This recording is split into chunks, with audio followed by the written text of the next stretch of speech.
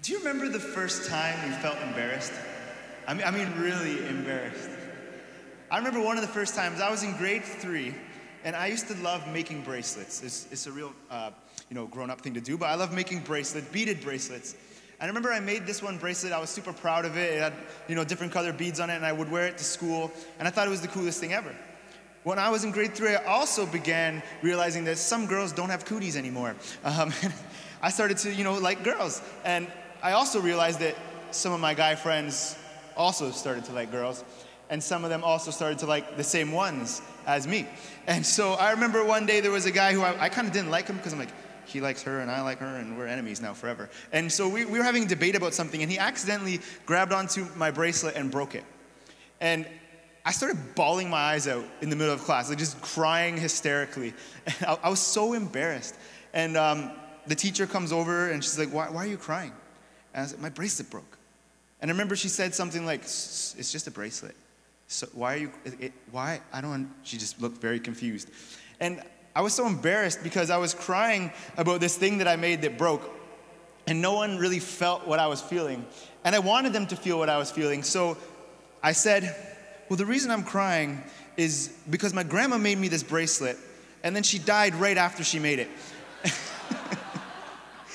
And it actually worked. Like my teacher was like, "Oh, I'm so sorry," and I was like, "Yes, I lied and it worked this time." Like I, I was so hurt, and I wanted people to feel what I felt. That I manipulated them, I lied to them, I tricked them into feeling what I was feeling.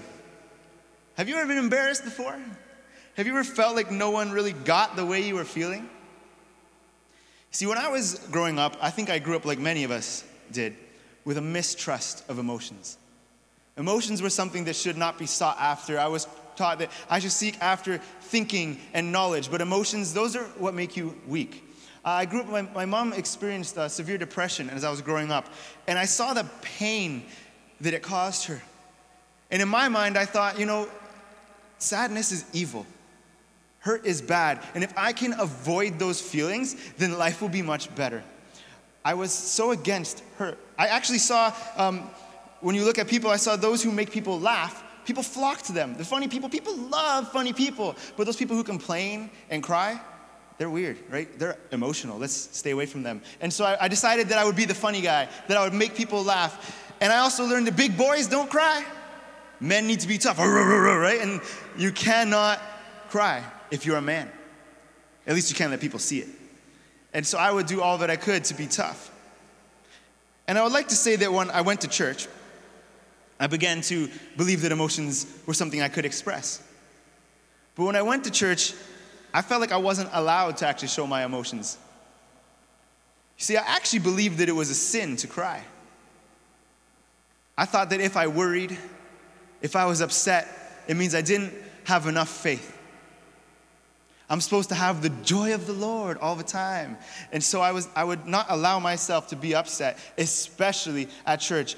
And maybe you're here today and church isn't your thing. Maybe it's your first time in a church. And you, when you think of people who go to church, you think that they use religion as a crutch. That they are so emotionally needy that they need some airy fairy God to help them feel better. I want to tell you that I grew up in the church and I believe emotions were bad. I believe that it was the opposite of what I needed to do. I thought as long as I knew about God, I would be close to Him. And so I pursued education, I pursued degrees in theology, which is the study of God, and I wanted to learn as much as I could about God so that we could get close. I came to realize what I'll talk about you later, talk about with you a bit later is this idea of knowing God is more important than knowing about God.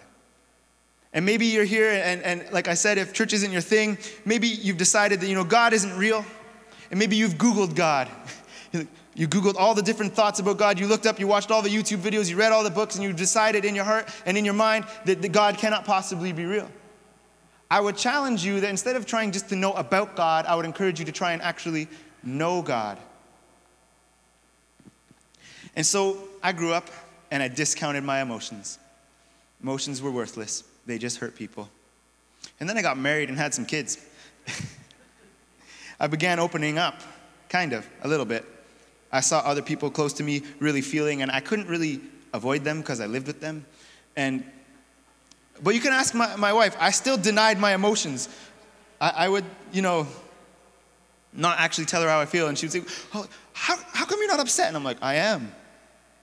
And just be totally still. And then my wife entered into a season of depression as well.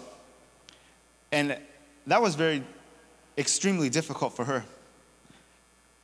And I didn't realize at the time that it was difficult for me as well. Because I grew up with seeing my mom's depression and thought depression is evil and it hurts people and emotions are evil. And then my wife entered that and I didn't realize all those feelings were coming back. And so I didn't know how to fix my wife. Ladies, you know men want to fix things. And I wanted to fix my wife. I wanted to make her better somehow. But no matter how many things I reasoned with her, it wouldn't make a difference. It was hard. But when I saw her strength and when I saw her vulnerability at the same time, that she was actually able to express how she was feeling, it radically changed me because I'm like, I love her even more, and she's feeling. It impacted me.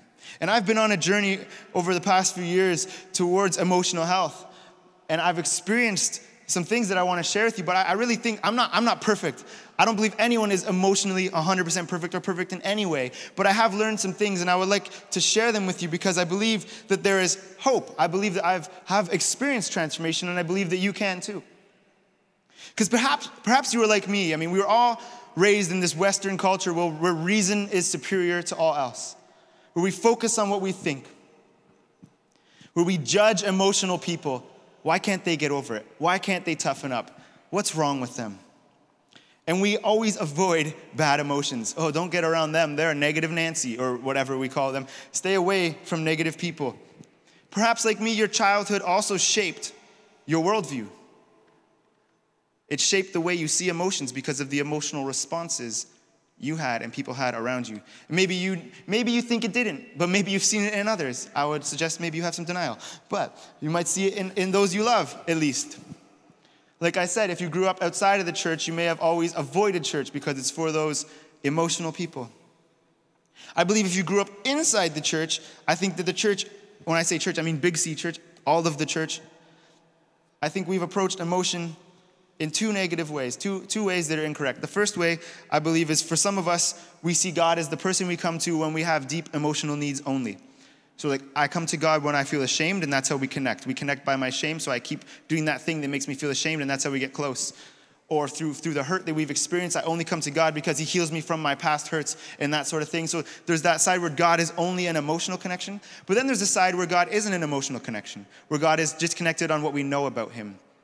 That's, that's, I, I kind of pursued both of these in my life, um, but the, the, that's where we read books about God and we learn about God and we study about God and we come to, to reason and convince ourselves that God is real.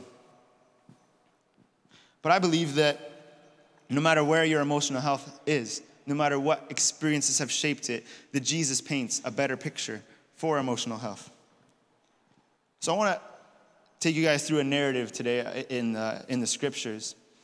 And it's a really cool story because it, uh, it shows us some great things about emotional health.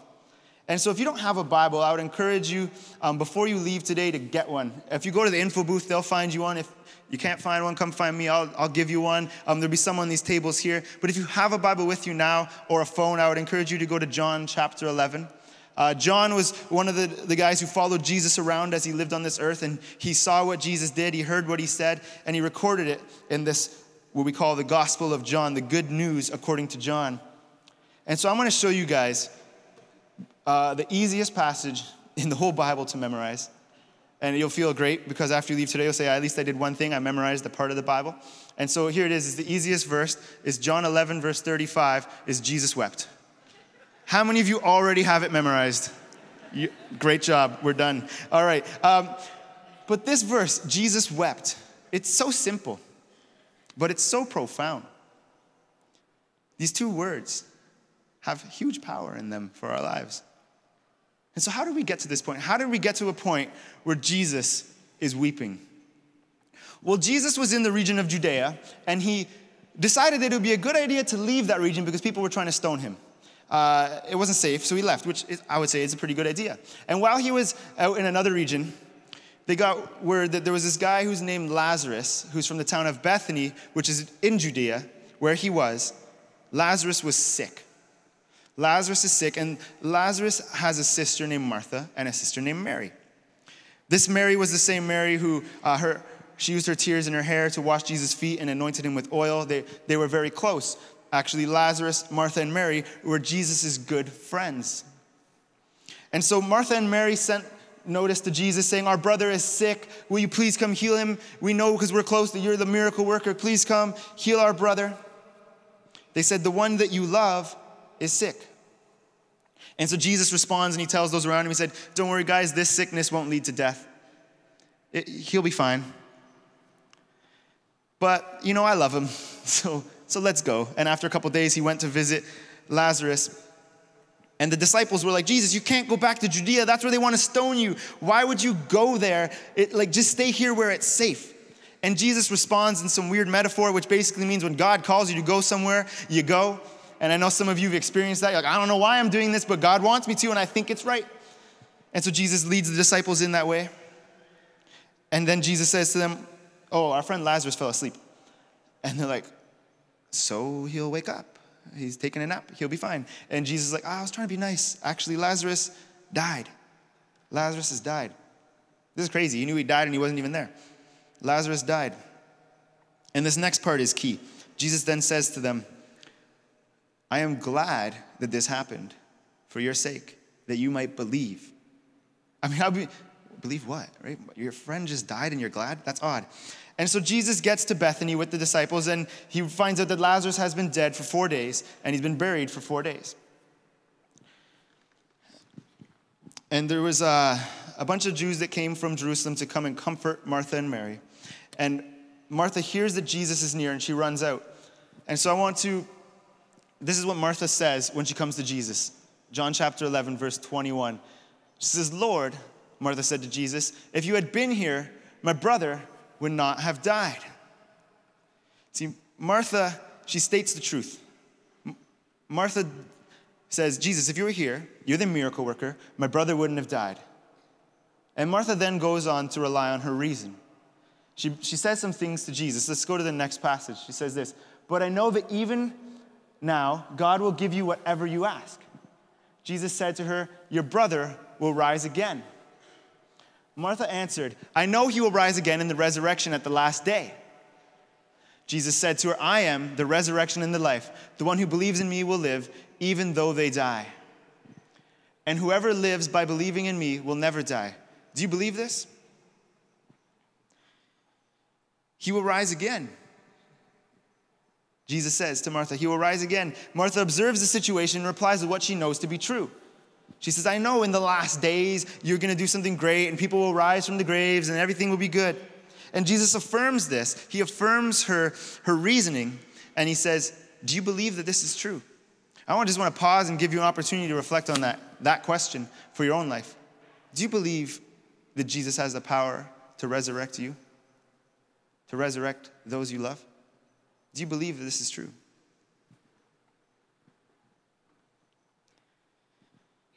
And then the next verse, Martha says this.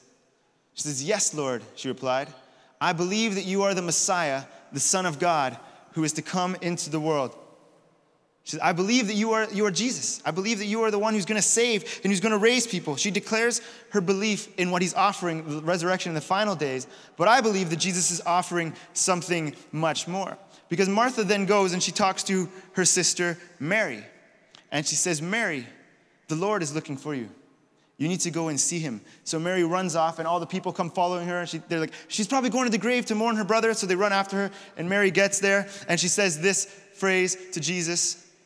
When Mary reached the place where Jesus was and saw him, she fell at his feet and said, Lord, if you had been here, my brother would not have died.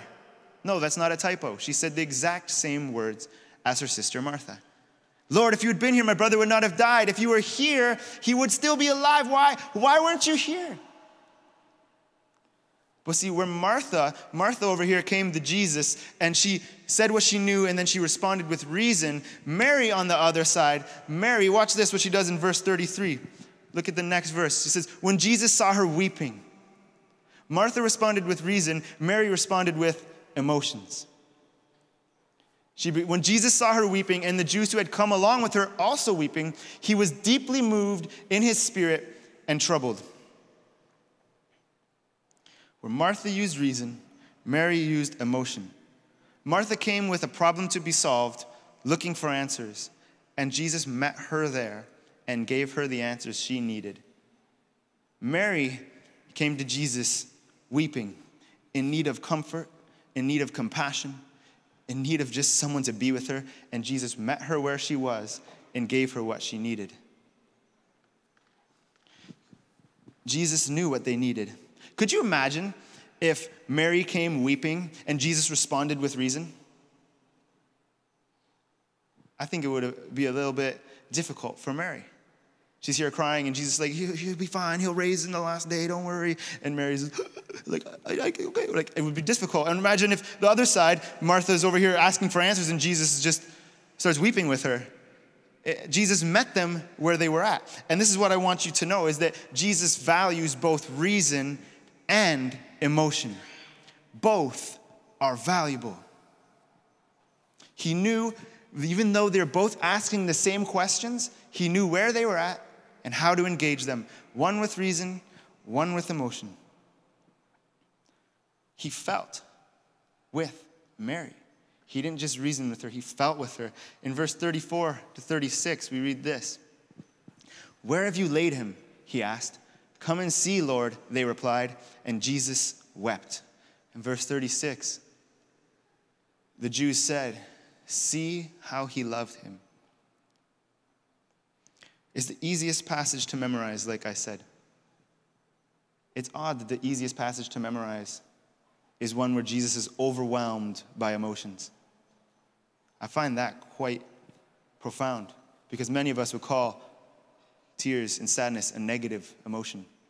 And yet, here's God Himself crying. Why did He cry? Because He loved. Someone who He loved had just died. Someone who he loved had just died. This is the first thing I need you to know today is that God has emotions. God has emotions. Maybe you've never thought that about God. Maybe you think of him as some absent, distant person. But the God we believe in is a relational God.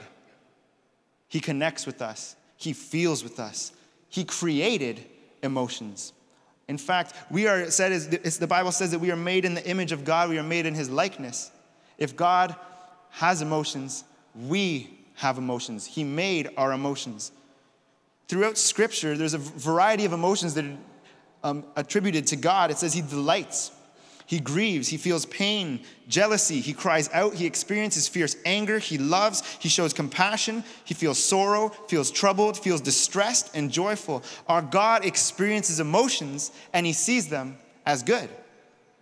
See, I love this passage because Jesus knew that a miracle would happen. I'm sorry, spoiler alert. But Jesus knew what was going to happen. He knew that he could raise Lazarus from the dead. In fact, he told the disciples, remember I told you this is key, he said, I am glad that he died. I'm glad that it happened so that you might believe. Jesus went to Bethany knowing that when he got there, Lazarus would be dead and that he had the power to raise him. He even said to Martha, If you believe, you'll see great things. But when he came and saw the people he loved weeping and he saw that his friend was dead, Jesus still felt. He still wept. Even though he had full faith, he still cried. Why? Because his friend died. Someone who he loved experienced the worst possible thing. And the people who he also loved were grieving. How many of you guys know that emotions can be contagious? For all of you who watch This Is Us on Netflix, I'm not crying, you're crying. It's true. So we all never make eye contact after that show. Uh, just kidding. But Jesus wept. This is the truth I want you to know from this is that Jesus wept because he has emotions. And that if Jesus can weep, so can I. So can you. Not only does he feel, but God values your emotions. God values my emotions. He saw Mary in her state, an emotional wreck, and he didn't shame her. He didn't tell her to get up. He didn't tell her to toughen up. he embraced it. He pursued it. He loved her in it. He had no expectations for her to change, and notice she didn't apologize for the way she was feeling. He joined her there. The final thing I want you to know about God and how He sees emotions is that God joins me in my emotions. God joins you in your emotions. He didn't explain, He joined. He didn't reason with her, He felt with her. And we read that He was motivated by love. Motivated by love. He wept because He loved. You know, if I reflect back on my life in that season where I focused on knowing all about God and not knowing God, I find it quite, quite, quite odd because I knew in my heart that the deepest moments in my faith all had to do with when I felt God, when I actually felt His presence, when I felt His love. But yet I focused on how much I could know about Him instead. And knowing is good. I mean, the more I learn about my wife, usually the closer we get. Yeah, the more you know, the more I know about her, the closer we get. But when we actually experience things together, when we cry together at the same hurts, when we laugh together at the same funny things, when we get angry at the same injustices, we're actually getting closer together because we are feeling together more than just knowing about things. And the same is true for God. Mark said last week um, that, that Jesus is in the business of replacing our lies with truth. And I believe that one of the most powerful ways Jesus does this is by joining us in our emotions. Because knowing about God isn't the goal, knowing God is. It's interesting because in the Bible, the word, the phrase to know that is used so many times has this, this meaning that is more than just to know in your head. Sometimes the, the original languages in the Bible, their words are a little different than ours. And, and the phrase to know, it can mean anything from knowing about something to knowing someone sexually. I would argue that those are very different things. And so it has this, this sense of intimacy, this sense of knowing. Uh, and you know what's interesting? When we think about intimacy, the most intimate way to know someone is physically, then emotionally, and then rationally. Yet when it comes to God, we tend to live in the rational world. And we just approach God from this way and we wonder why we can't get very intimate with Him or with, with those we love. Its most significant usage of the phrase to know is about God knowing someone in their entirety, every part of them. Maybe, maybe you've never thought of God in that way, that He knows everything about you, whether you want Him to or not, He does. And He pursues you in that. Lots of us think that uh, God just looks at our emotions, but He doesn't just see them, He joins us in them. And so, if this is true, if God has emotions, if He values our emotions, and He joins me in my emotions, how then should we approach emotions? Well, I remember there was a, season in my life, a time in my life, where I was expecting another child. We, we, my wife was pregnant, and I was, you know, I should have been excited and I should have been a bit nervous, right? For those of you who have kids, it's a bit of both. I'm excited and I'm nervous. But my wife had gone through a terrible pregnancy uh, in, in, her mental health. It, it just hurt her. And it was hard. And I, I'm sitting here saying, I'm about to have a baby. And either my wife's gonna get worse, and that's terrifying, or she's gonna get better, and that's exciting. But at the same time as that happened, I had some drastic changes happen in my workplace. I entered a season of deep uncertainty, fear, nervousness, busyness. I also, at the same time, had some dreams that I wanted, they were unrealized. There was some sadness that I should have felt, disappointment. I had relational dynamics changing that I had to navigate, and I was uncertain how to go through with them. I had new opportunities, though, that caused excitement. But I also, my wife was entering into a time of uh, unpaid maternity leave. And I was afraid. How are we going to get through this? You see, I honestly looked at the different situations. There were so many different emotions coming into my life, and I said, There's too many of them I don't want to feel anymore. I'm just going to ignore them. You know I mean? I should have felt excited that my baby was going to come and I was going to hold her in my arms. But I was too distracted by the fear. And I should have felt afraid of those other things, but, but I didn't want to feel it, so I didn't let myself feel excited, and I just went numb. I told myself, Daniel, you're a pastor, you're a leader, you can't feel, you're supposed to lead other people. You can't get to a state where you don't feel strong enough. You need to be there for other people. You shape how others go. I decided my problems don't matter because other people's problems are worse. Mine are just little. Look at how much of a hard time they're going through. Why are you even upset? I decided that I would work hard, that I would perform well, and that that would make me feel better. I denied myself the right and the freedom to feel. I remember saying to Brianna one day, my, one of my kids came up and made a joke that was hilarious, and I didn't laugh. And I said to her, I thought that joke was hilarious, and I couldn't laugh. I realized at that moment that I had been making myself so numb to emotions that I wasn't even able to feel the ones that I thought were so desirable. And the truth is, as much as you can try to avoid emotions, you will feel them eventually. And I did, all at once.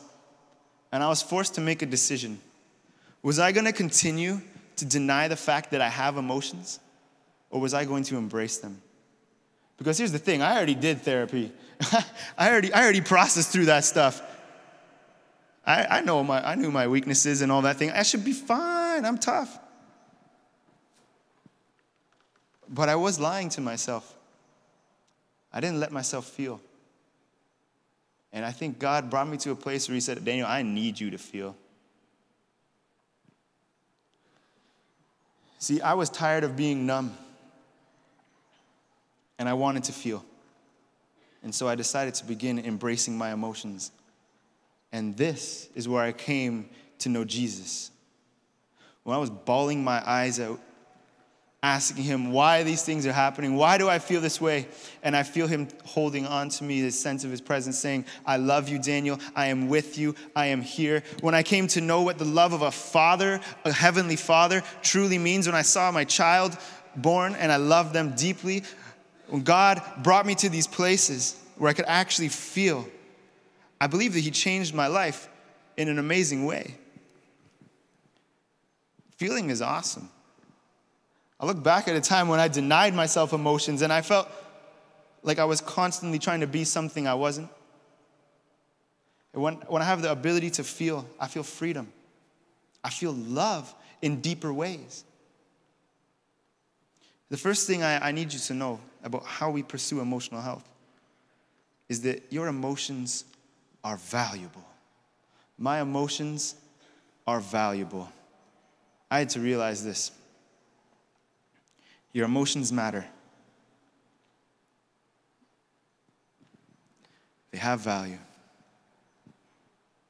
I realized that I give something value when I think it has a positive impact, and you probably do too.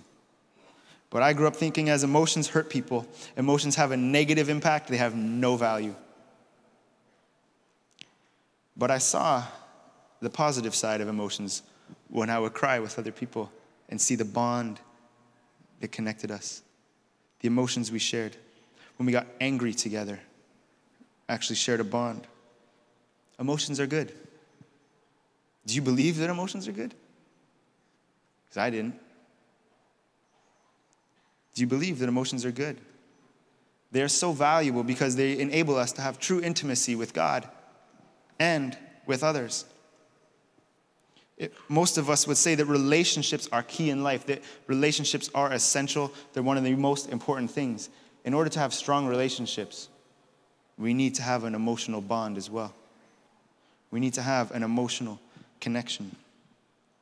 The other reason we give something value is if we think that it's trustworthy. But emotions are not trustworthy, are they?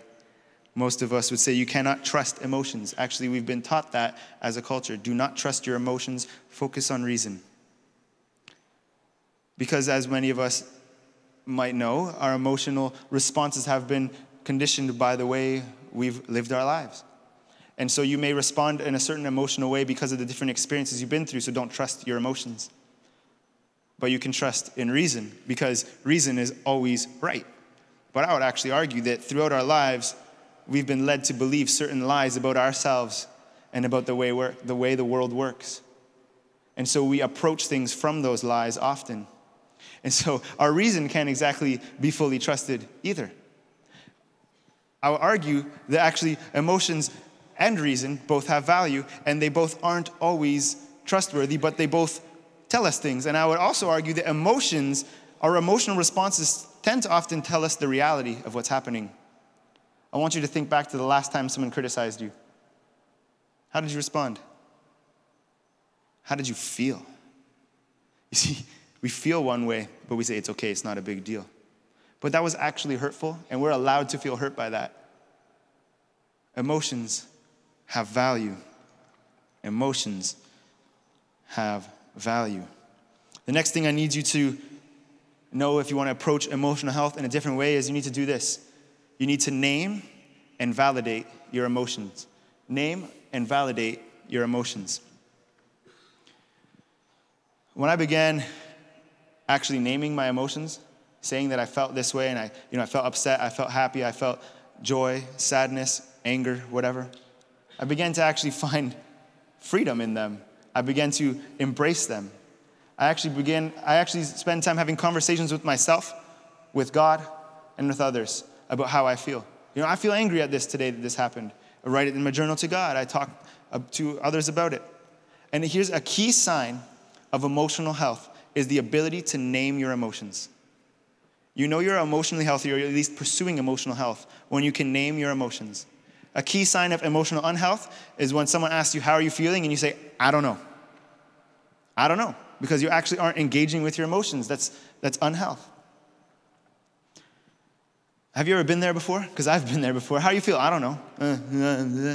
And you just kind of mumble junk until whatever. If, you, if you're having a hard time naming and validating your emotions, I would encourage you to grab your phone and look at the emojis and just kind of be like, that's me, right? Whatever one looks like your face, that, that's the one you're feeling. Um, so spend some time looking at emojis because it's really easy to text them, but it's not often easy to name them and validate them in ourselves. Do that throughout the day. Think about the different ways you feel. Think, you know, how am I feeling right now? Look at your, your pictures and see how you feel. And parents, I just want, I just want to talk to parents. If you have, if you have kids that are little or that are big or, or that are adult children, this is, this is key parenting gold that I learned. If we are able to name and validate our kids' emotions, it'll increase our relational health, which we're talking about next week. It'll create a deeper bond between us. It'll help them process through the hard times in their lives better. I want you to think about the last time, uh, you know, a kid, for example, a kid's my age will come up to me and be like, it's no fair. My friends got more Halloween candy in their lunchbox than I did. And it's like, so what? It's Halloween candy. Get over it. Like, it's just candy. Why are you so worried? And our kids there, and they're like really upset. They've been thinking about it since lunch for three hours about how terrible it was that they didn't get candy. And we said, why are you feeling? Stop feeling. Be tough. I want you next time when a kid comes up to that kind of in that kind of way, just simply say something like this, like, that must hurt. You seem upset about that. And watch how they respond. Watch how they respond. Because they will feel like they are heard, they will feel like they're valuable because they feel better than we do. They haven't believed as many lies about how the world works as we do yet. And so I would encourage you to name and validate your emotions. Finally, in order to pursue emotional health, I need to share my emotions. I need to share my emotions. This is what changed my life, I think. In Galatians chapter 6, it says this Carry each other's burdens, and in this you will fulfill the law of Christ. So, you mean in order to do what God wants me to do, I just need to carry other people's burdens?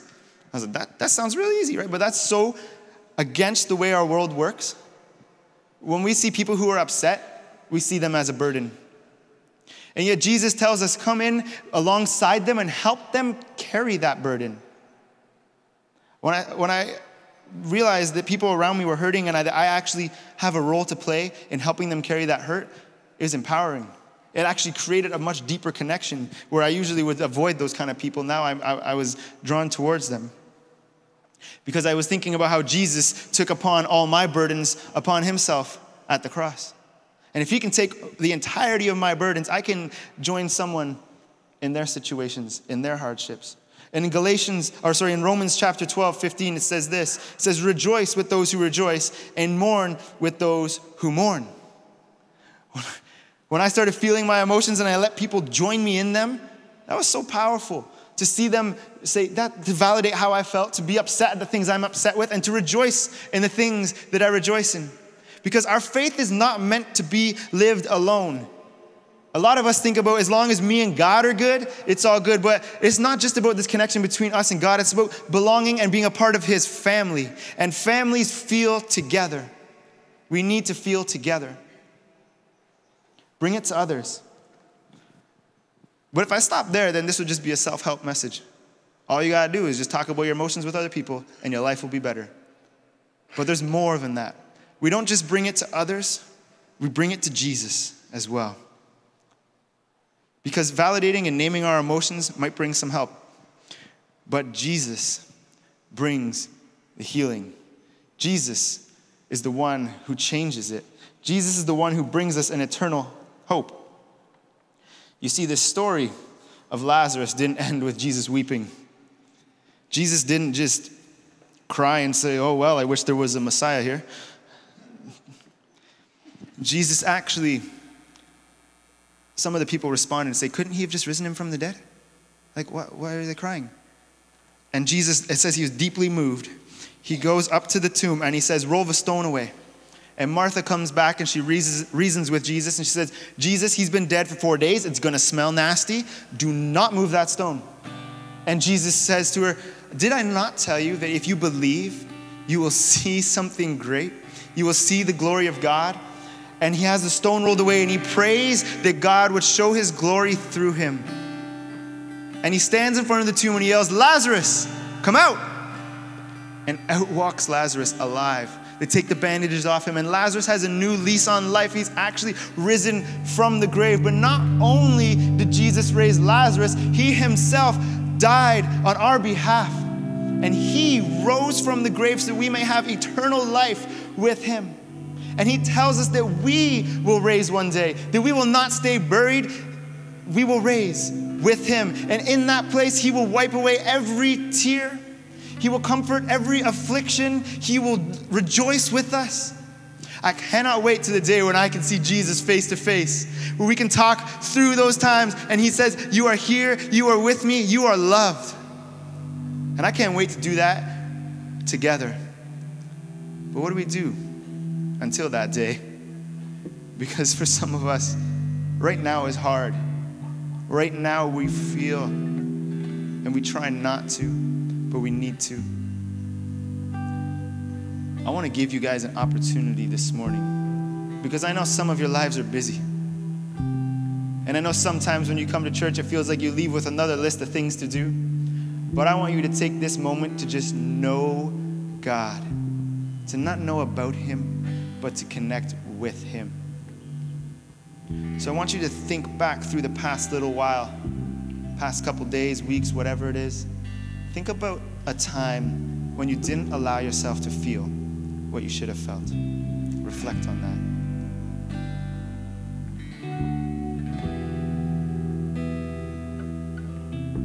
Perhaps it was sadness, anger, fear, joy shame, love, excitement.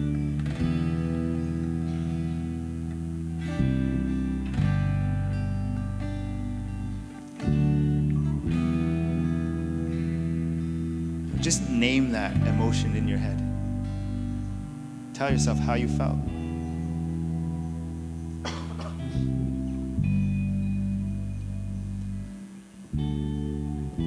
Tell yourself it was okay to feel that way. It is okay to feel.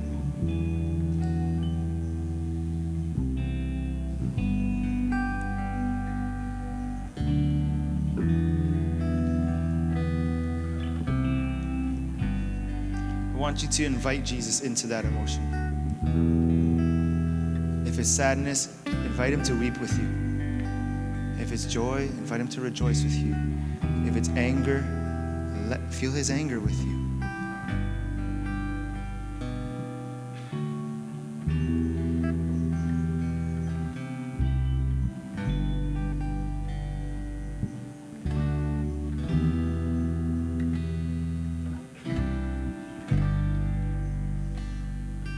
because Jesus sees you as valuable and He knows you in your entirety. Sees your emotions as valuable and He wants you to know Him in greater ways. I want to invite you to stand as we sing this final song. I love the first line of this song. It says, The struggles that I face, the choices I have made can't stop your love for me. No matter what you have felt, no matter what you have neglected to feel, I want you to know that Jesus loves you so much.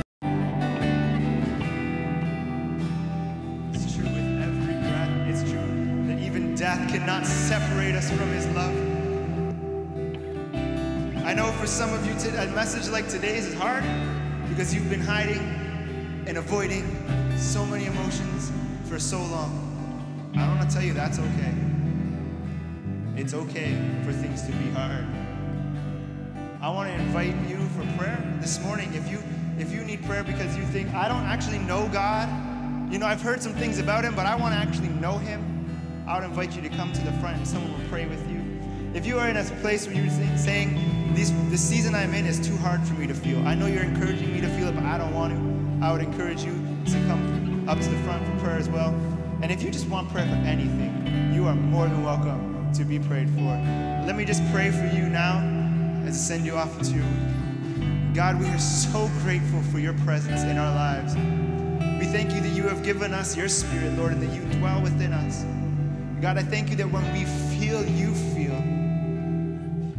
God, I pray that you would give us the courage to value our emotions, to name them, to validate them, to say that they are good, and to share them with others, God. I pray for those of us who feel like we are in a strong emotional place, God, that you would help us to carry the burdens of others in their sorrows. But God, I pray above all else that you would help us as your church to feel, to know, God, that you are with us and that you love us deeply. God, we pray that you bless us this week. We pray this in your name. Amen. Have a great week.